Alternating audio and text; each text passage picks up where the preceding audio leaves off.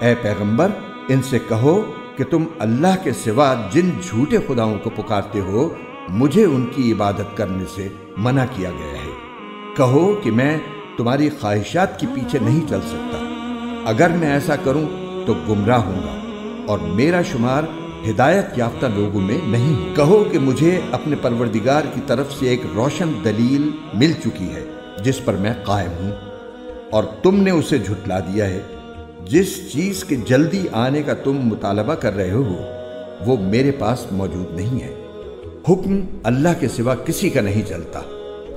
वो हक बात बयान कर देता है और वही सबसे बेहतर फैसला करने वाला है। कहो कि जिस चीज़ की तुम जल्दी मचा रहे हो, अगर वो मेरे पास होती तो मेरे और तुम्हारे दरमियान फैसला हो चुका होता और अल्लाह जालिमों को खूब जानता है।